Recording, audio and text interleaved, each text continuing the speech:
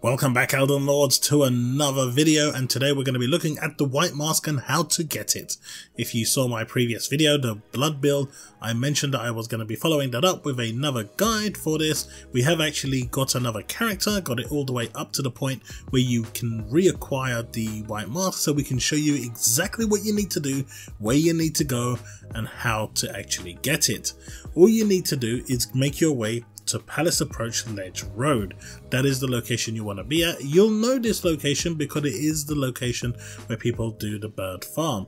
Now, from here, if you just follow where we're going, you will eventually come to the first encounter. Be careful because there is a giant bird here, you know, the one that you was doing the bird farm with, and he is very nasty and will kill you very, very quickly.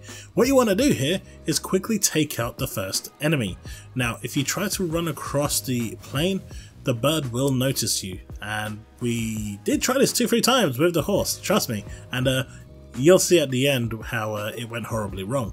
What you want to do is basically just sneak past, get all the way up. There will be two foxes, potentially three, but I think there's two. You want to take them out quickly, and then the next invader will appear. Simply take this one out and that is number two. The third one is not far from here as you'll see in the video. You just want to make your way to the location that you're seeing in the video, wait for it to appear. Once it's up, again, be very careful not to attract the bird because if you attract the bird, it's going to be really messy and potentially lead to a death.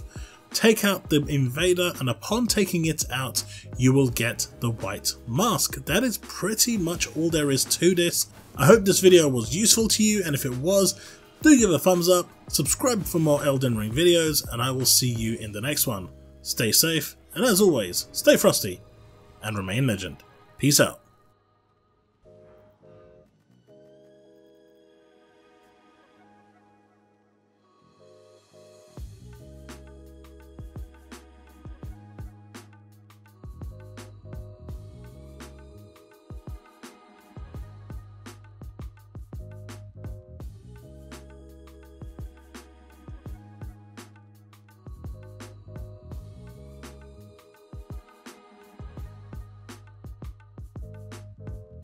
Thanks so much for watching my video. If you look over to the left, you'll find a video that I'm recommending to you that I think you might actually enjoy. On the right, you'll see a video that is recommended by YouTube. I really do hope you enjoyed the video and until the next one, remember to always remain legend.